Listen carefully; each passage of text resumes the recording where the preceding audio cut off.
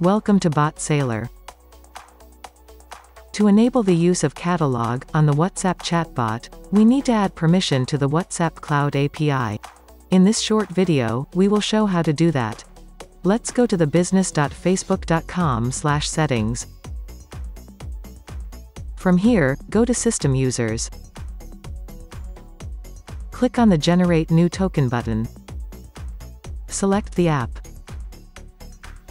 Then select the token expiration. Previously, we had only used three permissions.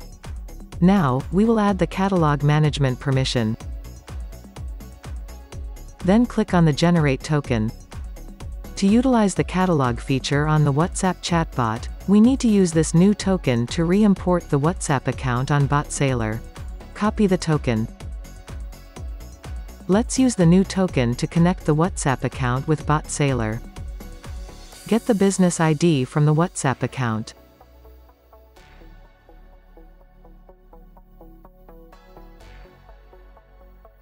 Paste it here. Click on the Connect button.